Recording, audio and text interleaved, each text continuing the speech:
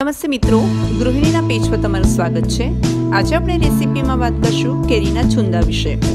મિત્રો, છુંદો એક ભારતીય અથાણું છે, જેને કાચી કેરી અને ખાંડમાંથી બનાવવામાં આવે છે. આને તમે રોટલી, ભાખરી, પરાઠા, થેપલા સાથે અથવા તો ફરસાણ સાથે ચટણીની જેમ ખાઈ શકો છો. આની બનાવટમાં અન્ય શાક આદિ પણ વાપરી શકાય છે.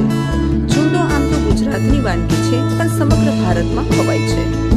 કાચી કેરી માત્ર ઉનાળાની શરૂઆતમાં જ મળતી હોવાથી છુંદા સહિત કેરીમાંથી બનતા અથાણાઓને તેલ કે ખાંડના આધાર પર અથાણા બનાવીને કાચની બરણીમાં સાચવવામાં આવે છે. તો આ રીતે છુંદો અને અન્ય અથાણાનો આનંદ આખા વર્ષ દરમિયાન માણી શકાય છે. કેરીનો છુંદો જે ગુજરાતી લોકોને ભોજનની સાથે અથાણામાં જોઈએ છે. પરંતુ અત્યાર સુધી ખાટા અથાણાની રેસીપી જ તમે જોઈ હશે. આજે અમે તમારા માટે ગુજરાતી લોકોનો ફેવરિટ ગળિયા ચુંદાની રેસીપી લઈને આવ્યા છીએ, જે ખાવામાં સ્વાદિષ્ટ હોય છે. તો આવો જોઈએ કેવી રીતે બનાવાય આ ચુંદાને.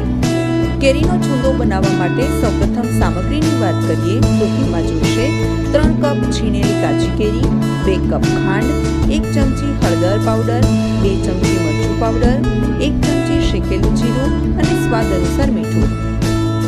હવે કેરીનો છુંદો બનાવવા માટે સૌપ્રથમ એક વાસણમાં છીણેલી કેરી, હળદર પાવડર અને મીઠું ઉમેરી બરાબર મિક્સ કરી લો. ત્યારબાદ તેને એક કલાક રાખી મૂકો.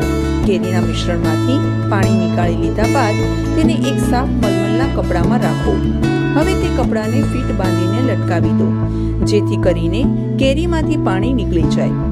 ત્યાર પછી કેરીની છીણને એક વાસણમાં નીકાળી લો અને હવે તેમાં ખાંડ ઉમેરો. કેરીના મિશ્રણને સૂકા અને સાફ ચમચાથી બરાબર મિક્સ કરી લો. ત્યાર પછી વાસણને એક સાફ અને સૂકા કપડાની મદદથી બાંધીને તેને ઢાંકી દો. આ વાસણને પાંચથી દસ દિવસ સુધી તડકામાં રાખી મૂકો. સાંજ પડતા આ વાસણને ઘરમાં અંદર રાખો અને તેની પરથી કાપડ હટાવીને ઢાંકણાથી ઢાંકો. તડકામાં મૂકતી વખતે તેને બરાબર હલાવીને કાપડથી બાંધીને મૂકો.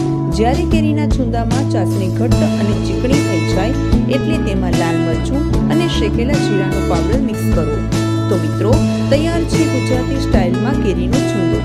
તેને કાચની બરણીમાં ભરીને સ્ટોર કરી શકો છો.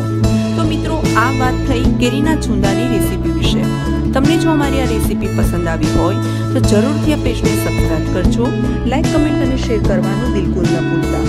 આવી જ અન્ય રસપ્રદ રેસીપીઓ સાથે ફરીથી મળતા રહીશું. ત્યાં સુધી સ્વસ્થ રહો, મસ્ત રહો અને સુરક્ષિત રહો. જય હિન્દ.